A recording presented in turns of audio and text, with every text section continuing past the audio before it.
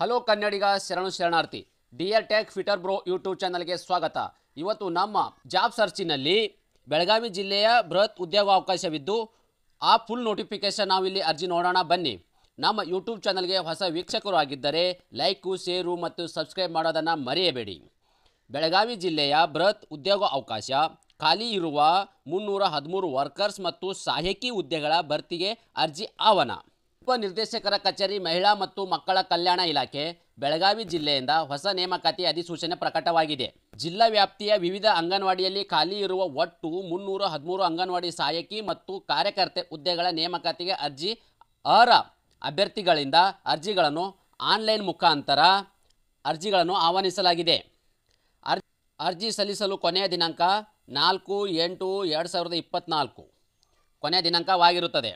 ಈ ಹುದ್ದೆಗಳಿಗೆ ಅರ್ಜಿ ಸಲ್ಲಿಸಲು ಕೆಳಗೆ ಲಭ್ಯವಿರುವ ಲಿಂಕ್ ಮೇಲೆ ಕ್ಲಿಕ್ ಮಾಡಿ. ಸ್ನೇಹಿತರೆ, ನಾನು ಇಲ್ಲಿ ಡಿಸ್ಕ್ರಿಪ್ಷನ್ ಬಾಕ್ಸಲ್ಲಿ ನಿಮಗೆ ಲಿಂಕನ್ನು ಕೊಟ್ಟಿರ್ತೀನಿ. ಆ ಲಿಂಕ್ ಮುಖಾಂತರ ನೀವು ಅರ್ಜಿಗಳನ್ನು ಹಾಕ್ಬೋದು? ಉದ್ಯೋಗ ಮಾಹಿತಿಯ ನಿಮಗೆ ಉಪಯುಕ್ತವಾಗಿರಬಹುದು. ಅದರ ಕುರಿತು ಹೆಚ್ಚಿನ ಅಧಿಕೃತ ಮಾಹಿತಿಗಳಿಗಾಗಿ ನೀಡಲಾಗಿರುವ ವೆಬ್ಸೈಟ್ಗೆ ಭೇಟಿ ನೀಡಬಹುದು. ಅರ್ಜಿ ಸಲ್ಲಿಸುವ ಮುನ್ನ ವಿದ್ಯಾರ್ಹತೆ, ಅರ್ಹತೆಗಳು ಮತ್ತು ಇತರೆ ಮಾಹಿತಿಗಳನ್ನು ಮತ್ತೊಮ್ಮೆ ಖಚಿತಪಡಿಸಿಕೊಳ್ಳಿ. ಈ ಉದ್ಯೋಗ ಮಾಹಿತಿಯನ್ನು ನಿಮ್ಮ ಸ್ನೇಹಿತರಿಗೆ ಮತ್ತು ಕುಟುಂಬಸ್ಥರಿಗೆ ಶೇರ್ ಮಾಡಿ. ಇದೇ ರೀತಿಯ ನಿರಂತರ ಉದ್ಯೋಗ ಮಾಹಿತಿಯು ಮೊದಲು ನಿಮಗೆ ತಿಳಿಯಲು ನಮ್ಮ ಯೂಟ್ಯೂಬ್ ಚಾನಲ್ನ ಸಬ್ಸ್ಕ್ರೈಬು ಮತ್ತು ಬೆಲ್ ಐಕಾನ್ ಪ್ರೆಸ್ ಮಾಡೋದನ್ನು ಮರೆಯಬೇಡಿ. ಕರ್ನಾಟಕ ಮಹಿಳಾ ಮತ್ತು ಮಕ್ಕಳ ಕಲ್ಯಾಣ ಇಲಾಖೆಯಿಂದ ಖಾಲಿ ಇರುವ ವಿವಿಧ ಹುದ್ದೆಗಳಿಗೆ ಹುದ್ದೆಗಳ ನೇಮಕಾತಿಗಾಗಿ ಅರ್ಜಿ, ಆಸಕ್ತ ಅಭ್ಯರ್ಥಿಗಳಿಂದ ಅರ್ಜಿ ಆಹ್ವಾನಿಸಲಾಗಿದ್ದು, ಈ ಥರ ಕುರಿತಾದ ಹೆಚ್ಚಿನ ವಿವರಗಳಾದ ಹುದ್ದೆಗಳ ವಿವರ ಅರ್- ಅರ್ಹತೆಗಳು, ವಯೋಮಿತಿ, ಆಯ್ಕೆ ವಿಧಾನ, ಅರ್ಜಿಯ ಶುಲ್ಕ ಮತ್ತು ಅರ್ಜಿ ಸಲ್ಲಿಸಲು ವಿಧಾನ ಹಾಗೂ ಇತರ ವಿವರಗಳನ್ನು ಪಡೆಯಲು ಈ ನೋಟಿಫಿಕೇಷನನ್ನು ಫುಲ್ ಈ ವಿಡಿಯೋನ ಸ್ಕಿಪ್ ಮಾಡದೆ ಕೊನೆ ತನಕ ನೋಡಿ. ಹುದ್ದೆಗಳ ವಿವರ, ಇಲಾಖೆ, ಸಂಸ್ಥೆ, ಕರ್ನಾಟಕ, ಕಲ್ಯಾಣ ಮತ್ತು ಮಕ್ಕಳ ಇಲಾಖೆ. ಹುದ್ದೆ ಹೆಸರು, ಅಂಗನವಾಡಿ, ಕಾರ್ಯಕರ್ತೆ ಮತ್ತು ಸಹಾಯಕಿ. ಹುದ್ದೆಗಳ ಸಂಖ್ಯೆ, ಮುನ್ನೂರ ಹದಿಮೂರು. ಹುದ್ದೆಗಳು, ಕೆಲಸದ ಸ್ಥಳ, ಅಂದರೆ ಇದು ಲೊಕೇಶನ್ ಇರ್ತಕ್ಕಂಥದ್ದು ಬೆಳಗಾವಿ ಜಿಲ್ಲೆ. ಹುದ್ದೆಗಳ ಹಂಚಿಕೆ. ಸ್ನೇಹಿತರೆ, ತಾವು ನೋಡ್ಬೋದು, ಇಲ್ಲಿ ಟೋಟಲ್ ಎಷ್ಟು ಪೋಸ್ಟ್ ಇದೆ ಒಂಬದನ ಕಾರ್ಯಕರ್ತರಿದ್ದಾರೆ ವರ್ಕರ್ಸ್ ಏನಿದ್ದಾರೆ ಅವ್ರಿಗೆ ಇರ್ತಕ್ಕಂಥದ್ದು ಎಷ್ಟು ಹುದ್ದೆಗಳಿಲ್ಲಿ? ಅರವತ್ತು ಒಂದು ಹುದ್ದೆಗಳಿರ್ತವೆ ಓಕೆ ಮತ್ತು ಸಹಾಯಕಿ ಅಸಿಸ್ಟೆಂಟ್ ಏನು ಸಹಾಯಕಿ ಹುದ್ದೆಗಳಿದ್ದಾವೆ ಅವರಿಗಿರ್ತಕ್ಕಂಥದ್ದು ಎಷ್ಟು ಪೋಸ್ಟ್ಗಳಿಲ್ಲಿ? ಇನ್ನೂರ ಐವತ್ತೆರಡು ಹುದ್ದೆಗಳಿದ್ದಾವೆ ಒಟ್ಟು ಹುದ್ದೆಗಳು ಮುನ್ನೂರ ಹದಿಮೂರು ಹುದ್ದೆಗಳಾಗಿರ್ತದೆ. ಟೋಟಲ್ ಹುದ್ದೆಗಳು ಮುನ್ನೂರ ಹದಿಮೂರು ಹುದ್ದೆಗಳಾಗಿರ್ತದೆ. ಕರ್ನಾಟಕ ಮಹಿಳಾ ಮತ್ತು ಮಕ್ಕಳ ಕಲ್ಯಾಣ ಇಲಾಖೆ ನೇಮಾವಳಿಯ ಅನ್ವಯ ಕೆಳಗೆ ನೀಡಲಾಗಿರುವ ಅಧಿಕೃತ ವೇತನವನ್ನು ನೀಡಲಾಗುವುದು. ಹಾಗಾದರೆ ಎಷ್ಟು ವೇತನ? ಇಲ್ಲಿ ತಾವುಗಳು ಗಮನಿಸಬಹುದು ಸ್ನೇಹಿತರೆ, ಏನು ಕಾರ್ಯಕರ್ತೆ ಏನಿದ್ದಾರೆ, ಅವರಿಗೆ ಟೋಟಲ್ ಆಗಿ ಹನ್ನೊಂದು ಸಾವಿರ ರೂಪಾಯಿ ಅವರಿಗೆ ಇಲ್ಲಿ ಪೇಮೆಂಟನ್ನು ಕೊಡಲಾಗೋದು. ಮತ್ತು ಸಹಾಯಕಿ ಇದ್ದಾರೆ, ಅವರಿಗೆ ಇರ್ತಕ್ಕಂಥದ್ದು ಪೇಮೆಂಟ್ ಎಷ್ಟು ಇಲ್ಲಿ? ಎಂಟು ಸಾವಿರ ರೂಪಾಯಿ ಪರ್ ಮಂತ್ ಇರ್ತದೆ. ಶೈಕ್ಷಣಿಕ ಅರ್ಹತೆ. ಹಾಗಾದರೆ ಈ ಒಂದು ಅಪ್ಲಿಕೇಶನ್ ಹಾಕಬೇಕಾದ್ರೆ ಶೈಕ್ಷಣಿಕ ಅರ್ಹತೆ ಏನೇನು ಬೇಕಪ್ಪ ಅಂತ ಹೇಳಿದ್ರೆ, ಕಾರ್ಯಕರ್ತೆ, ಅಂಗೀಕೃತ ಬೋರ್ಡ್ನಿಂದ ಪಿ ಯು ಸಿ ಅಥವಾ ಡಿಪ್ಲೊಮಾ ವಿದ್ಯಾರ್ಹತೆಯನ್ನು ಮುಗಿಸಿರಬೇಕು.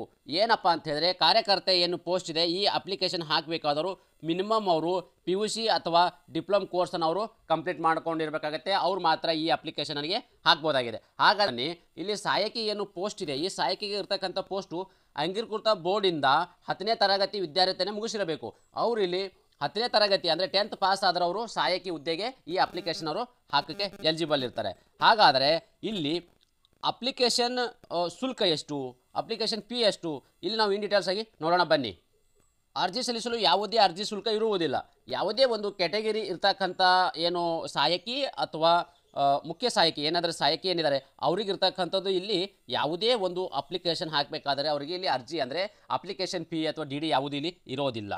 ಹಾಗಾದರೆ ಈ ಒಂದು ಅಪ್ಲಿಕೇಶನ್ ಹಾಕಬೇಕಾದ್ರೆ ವಯೋಮಿತಿ ಎಷ್ಟಿರಬೇಕು? ಅವ್ರಿಗೆ ಇರ್ತಕ್ಕಂಥ ಏಜ್ ಎಷ್ಟು ಒಳಗಡೆ ಅವರು ಇಲ್ಲಿ ಎಲಿಜಿಬಲ್ ಆಗ್ತಾರೆ? ಮಿನಿಮಮ್ ಇಂದ ಮ್ಯಾಕ್ಸಿಮಮ್ ಏಜ್ ಎಷ್ಟಿದೆ ಅಂತ ನಾವಿಲ್ಲಿ ನೋಡೋಣ, ಬನ್ನಿ.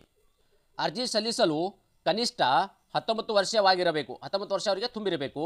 ಮತ್ತು ಗರಿಷ್ಠ ಮೂವತ್ತೈದು ವರ್ಷ ಮೀರಿರಬಾರದು. ಈ ಅಪ್ಲಿಕೇಶನ್ ಹಾಕಬೇಕಾದ್ರೆ ಅವರಿಗೆ ಏಜ್ ಎಷ್ಟು ಇರಬೇಕಪ್ಪ ಅಂತಂದರೆ ಹತ್ತೊಂಬತ್ತು ಮಿನಿಮಮ್ ಇರಬೇಕು, ಮೂವತ್ತೈದರ ಒಳಗಡೆ ಅವ್ರನ್ನ ಏಜ್ ಇರಬೇಕು. ಈ ಒಂದು ಅಪ್ಲಿಕೇಶನ್ ಅವರು ಎಲಿಜಿಬಲ್ಗೆ ಹಾಕ್ತಾರೆ.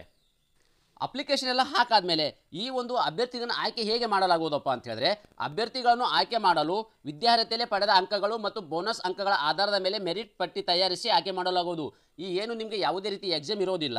ಮತ್ತು ಇಲ್ಲಿ ನೀವು ಏನು ಟೆಂತು ಏನು ಪಡೆದು ಮಾರ್ಕ್ಸ್ ಪಡೆದಿರ್ತೀರಿ, ಮತ್ತು ಡಿಪ್ಲೊಮಾ ಏನು ಪಡೆದಿರ್ತೀರಿ ಪಿ ಯು ಸಿ ಡಿಪ್ಲೊಮಾದವರಿಗೆ ಆ ಒಂದು ಅಪ್ಲಿಕೇಶನ್ ಹಾಕಿರ್ತೀರಲ್ವ, ಆ ಅಪ್ಲಿಕೇಶನ್ ಇದ್ರ ಮೇಲೆ ನಿಮಗೆ ಪಡೆದಿರೋ ಅಂಕಗಳ ಪರ್ಸೆಂಟೇಜ್ ಮೇಲೆ ಇಲ್ಲಿ ಕಟಾಪನ ಮಾಡಿರ್ತಾರೆ. ಆ ಕಟಾಪದ ಆಧಾರ ಮೇಲೆ, ಈ ಮೆರಿಟ್ ಆಧಾರದ ಮೇಲೆ ನಿಮಗೆ ಒಂದು ಈ ಸೆಲೆಕ್ಷನನ್ನು ಮಾಡೋಕ್ಕೆ, ಅರ್ಜಿ ಹಾಕುವ ವಿಧಾನ ಅಪ್ಲಿಕೇಶನ್ ಹೇಗೆ ಮಾಡಬೇಕಪ್ಪ ಅಂತ ಹೇಳಿದ್ರೆ, ತಾವುಗಳು ಇಲ್ಲಿ ಗಮನಿಸಬಹುದು, ಆಸಕ್ತ ಆಸಕ್ತ ಅರ್ಹ ವಿದ್ಯಾರ್ಹತೆ ಹೊಂದಿರುವ ಅಭ್ಯರ್ಥಿಗಳು ಅಧಿಕೃತ ವೆಬ್ಸೈಟ್ನಲ್ಲಿ ದಿನಾಂಕ ನಂತರ ಅಲ್ಲಿ ಅಪ್ಲಿಕೇಶನ್ ಓಪನ್ ಆಗುತ್ತೆ. ಡೈರೆಕ್ಟಾಗಿ ನೀವು ಅಪ್ಲಿಕೇಶನನ್ನು ಫಿಲ್ ಮಾಡ್ಬೋದಾಗಿದೆ.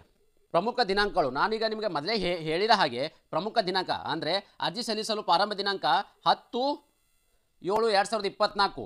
ಅರ್ಜಿ ಸಲ್ಲಿಸಲು ಕೊನೆಯ ದಿನಾಂಕ ಎಂಟು, ನಾಲ್ಕು, ಎಂಟು, ಎರಡು ಸಾವಿರದ ಇಪ್ಪತ್ತು ನಾಲ್ಕು ಅದರ ಜೊತೆಗೆ ಇಂಪಾರ್ಟೆಂಟ್ ಲಿಂಕ್ಸ್ ಸ್ನೇಹಿತರೆ ಆನ್ಲೈನ್ ಅಪ್ಲಿಕೇಶನ್ ಇರೋದ್ರಿಂದ ಈ ಒಂದು ಅರ್ಜಿಯನ್ನು ನಿಮಗೆ ಹಾಕೊಂಡು ಕೂಡ ನಾನು ಡಿಸ್ಕ್ರಿಪ್ಷನ್ ಬಾಕ್ಸಲ್ಲಿ ನಿಮಗೆ ಕೊಟ್ಟಿದ್ದೀನಿ. ಅಲ್ಲಿ ನೀವು ಡಿಸ್ಕ್ರಿಪ್ಷನ್ ಬಾಕ್ಸಲ್ಲಿ ನೀವು ಕ್ಲಿಕ್ ಮಾಡೋ ಮೂಲಕ ಅಪ್ಲಿಕೇಶನ್ ಓಪನ್ ಆಗುತ್ತೆ, ತಮ್ಮ ಅರ್ಜಿಗಳನ್ನ ಸಲ್ಲಿಸಬಹುದು. ಇನ್ನೊಂದು ಇಂಪಾರ್ಟೆಂಟ್ ಏನಪ್ಪ ಅಂದರೆ ನೀವು ಅಪ್ಲಿಕೇಶನ್ ಹಾಕಬೇಕಾದ್ರೆ ಯಾವುದೇ ಒಂದು ಮಿಸ್ಟೇಕ್ ಮಾಡದೇ ಇರೋ ಹಾಗೆ, ಅಂದರೆ ಸ್ಪೆಲ್ಲಿಂಗ್ ಆಗಿರ್ಬೋದು ಅಡ್ರೆಸ್ ಆಗಿರ್ಬೋದು ನಿಮ್ಮದು ಆಗಿರ್ಬೋದು ಇಮೇಲ್ ಐ ಡಿ ಇದು ಯಾವುದೂ ನೀವು ಮಿಸ್ಟೇಕ್ ಮಾಡ್ದೇ ಕ್ಲೀನಾಗಿ ಅಪ್ಲಿಕೇಶನನ್ನು ಫಿಲ್ ಮಾಡಿ, ಅದರ ಜೊತೆಗೆ ನೀವು ಅಪ್ಲಿಕೇಶನ್ ಫಿಲ್ ಫಿಲ್ ಮಾಡಿದಾದಮೇಲೆ ಕರೆಕ್ಟಾಗಿ ಇದೆಯಾ ಇಲ್ಲೋ ಅಂತೇಳ್ಬಿಟ್ಟು ನೀವು ಒಂದ್ಸರಿ ಕ್ಲಾರಿಫಿಕೇಶನ್ ಅಂದರೆ ಫುಲ್ ಪೂರ್ತಿಯಾಗಿ ಚೆಕ್ ಮಾಡ್ಕೊಳ್ಳಿ ಪ್ರಿವ್ಯೂ ಚೆಕ್ ಮಾಡ್ಕೊಳ್ಳಿ, ಮಾಡ್ಕೊಂಡು ನೀವು ಕೊಟ್ಟಿರುವ ಡಾಟಾ ಇದು ಸರಿ ಇದೆ ಅಂತ ಹೇಳಿದಾಗ ಮಾತ್ರ ನೀವು ಆ ಒಂದು ಅಪ್ಲಿಕೇಶನ್ನ ಸಬ್ಮಿಟ್ ಮಾಡಿ.